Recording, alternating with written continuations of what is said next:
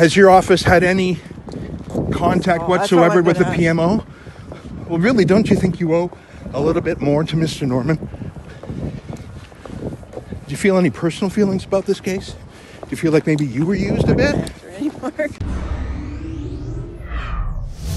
The Rebel.media, I'm Ezra Levant. I am standing outside the courthouse in Ottawa, where this morning Vice Admiral Mark Norman was set to continue his lengthy trial. He's on charge for one count of breach of trust. A little bit of background on that.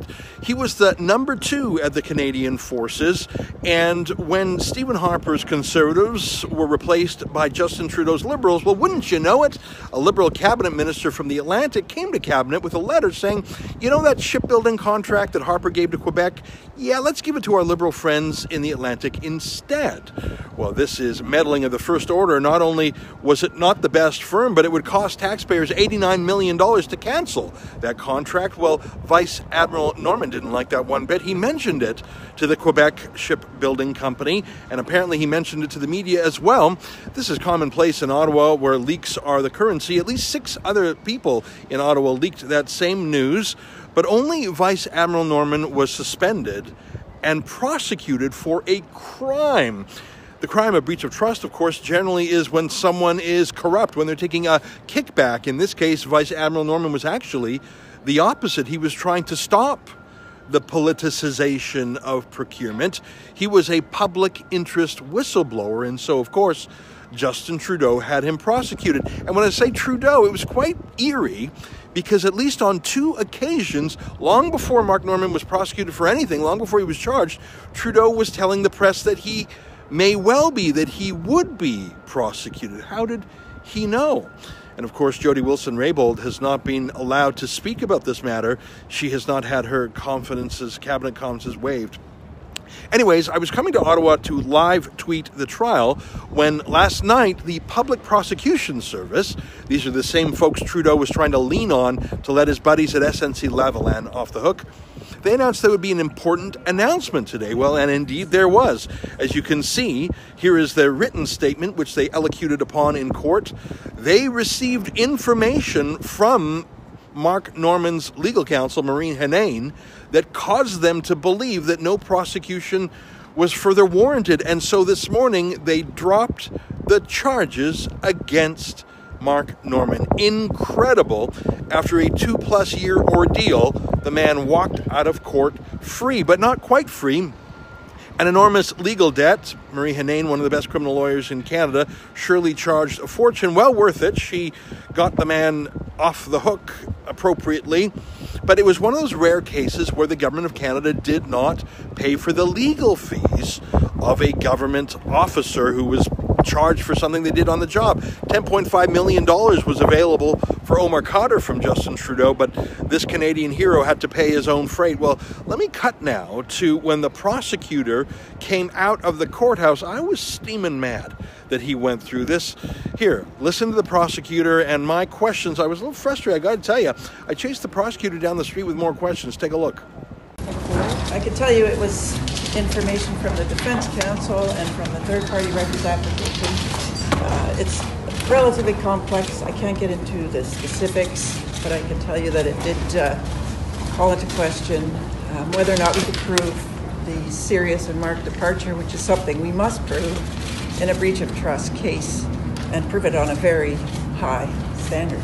Don't you owe it to the, don't you owe it to don't you owe it to the Canadian public to explain why all the resources of the federal crown were put against this person and in the end you dropped it. Can you please explain what new evidence came to your light? Obviously all the resources of the federal crown couldn't have brought that to light to you earlier?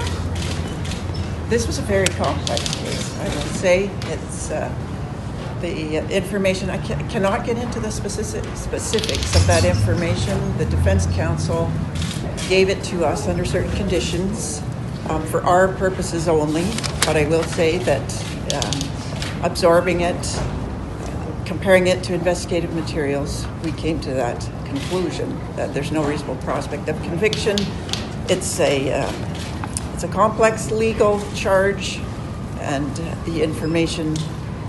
um, It was important to us. We had some information. We didn't have the entire How What do you you say? What do you- What do you say to people all who think that this might be politically motivated? That There we was, saw that uh, I can tell you, there was no political interference in this case. How could the you not have Department of Can you Public let her- Prosecutions decided to lay the charge, and they decided today, we decided alone, no political interference whatsoever, that we couldn't make the charge.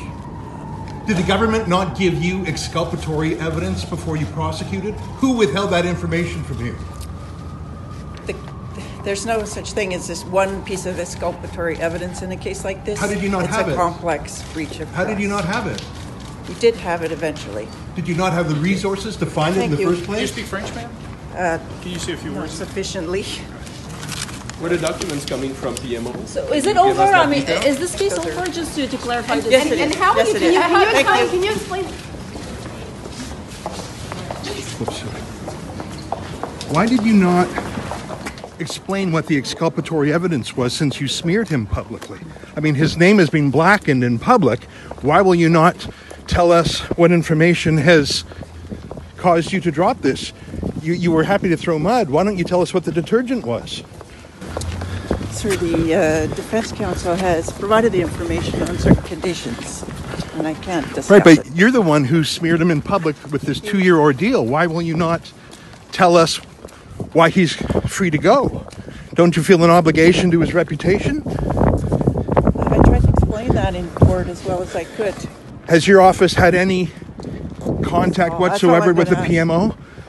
Well, really, don't you think you owe a little bit more to Mr. Norman? Do you feel any personal feelings about this case? Do you feel like maybe you were used a bit? No, don't you think you were used a No, bit? we did our job, sir.